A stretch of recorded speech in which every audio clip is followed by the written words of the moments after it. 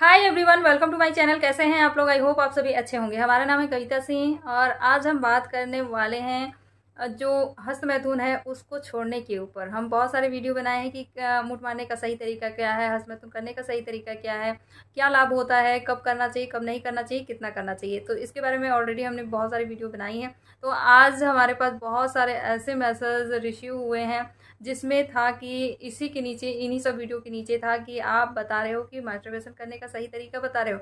अरे, आप इसको छोड़ने का सही तरीका बताओ। तो आज हम इसी के बारे में बात करेंगे कि हस्त मैथुन जो है जिसको बहुत ज़्यादा लत है ना, वो किस तरीके से छोड़े। एक मैसेज भी आया था हमारे पास कि, मैडम, मुझे बहुत ज़्यादा लत हो गई है, मैं इसको छोड़ नहीं पा रहा हूँ, छोड़ना चाहता हूँ बट छोड़ नहीं पा रहा हूँ।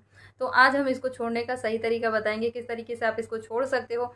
और हम जो बताने जा रहे हैं, इन सब के बावजूद अगर आप नहीं छोड़ पा रहे हो तो सबसे लास्ट सोल्यूशन है आप डॉक्टर के पास जाओ थोड़ा सा मदद लो, उनकी, उनसे कंसल्ट करो, वो फिर सजेस्ट करेंगे, उस तरीके से फिर आप उसको छोड़ सकते हो। तो आज हम इसके बारे में ही बात करेंगे। तो चलिए वीडियो को स्टार्ट करते हैं। इस टाइप की वीडियो और भी देखने के लिए हमारे चैनल को जो नए हैं, वो सब्सक्राइब कर लें, साथ ही साथ बेल आइकन को भी प्रेस कर लें, ताकि हमारे वीडियो का नोटिफिकेशन आप तक सबसे पहले पहुँच सके। तो इस, चलिए वीडियो को स्टार्ट करते हैं। जो मास्टर पेशन है, उसकी लत को छोड़ने के लिए इसमें सबसे पहला चीज़ है जो कि आपको करना है, वो है अपने फ्रेंड सर्कल में ऐसे संगत मतलब ऐसा संगत आपका ना हो कि जिसमें बुरे लोग हों। कहते हैं ना, संगति का असर पड़ता है। अगर आप एक अच्छे ग्रुप में जाओगे, एक अच्छा एक अच्छा फ्रेंड सर्कल रहेगा आपका तो उससे क्या होगा? आप अच्छी अच्छी चीज़ें सीखोगे और आगे बढ़ोगे, ठीक है? लेकिन यहीं पर अगर आप चार ऐसे दोस्त हैं आपके साथ जो कि इस लत से बहुत ज़्यादा ग्रसित हैं। हमेशा ही इन्हीं सब चीज़ों के बारे में बात करते हैं। तो क्या है, इस सर्कल में आप रहोगे ना तो आपकी हैबिट भी वही हो जाएगी। तो सबसे पहले अपने ग्रुप को चेक करो क्या आपके ग्रुप में ऐसे लोग हैं। तो उस ग्रुप को तुरंत छोड़ो, अपनी संगति को चेंज करो, वहाँ पर उनसे दूर हो जाओ।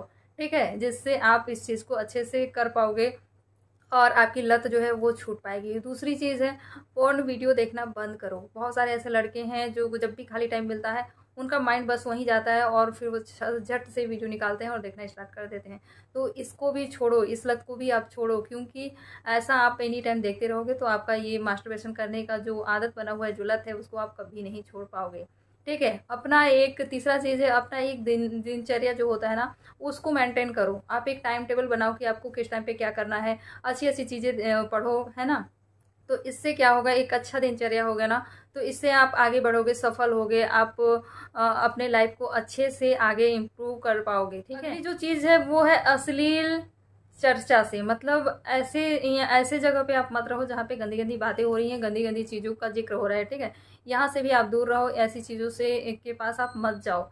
ठीक है? अगला जो चीज़ है वो है, आप बहुत ज़्यादा लड़कियों के बारे में मत सोचो। आप बहुत ज़्यादा लड़कियों के बारे में सोचो, सोचोगे एक्साइट हो गए तो देखो आपका जो बहुत ज़्यादा करने की आदत बनी हुई है, लत है आपको मास्टरबेशन करने का तो वो आदत नहीं छूट सकती है। ठीक है? अगला जो पॉइंट है वो है नई नई चीज़ों के के बारे में सीखो, अपने आप को व्यस्त रखो। जब आपका माइंड उस चीज़ की ओर जाएगा ही नहीं तो आपका मन बिल्कुल भी नहीं होगा उस चीज़ को करने के लिए। ठीक है? अच्छी अच्छी प्रेरणादायक किताबें पढ़ो अच्छी अच्छी प्रेरणादायक किताबें पढ़ोगे तो भी आपका मन जो है थोड़ा सा शांत होगा, स्वच्छ होगा, आपका माइंड उस ओर नहीं जाएगा।